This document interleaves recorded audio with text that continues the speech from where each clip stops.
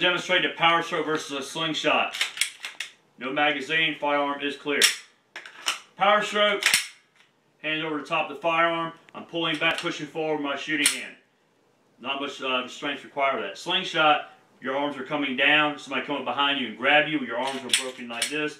I'm taking my eyes off my thread area. I can't really keep focused on what's going on. Power stroke, I can still up here in my work zone. If I need to do a magazine change, I'm out. Use a slide stop, or I can power stroke it.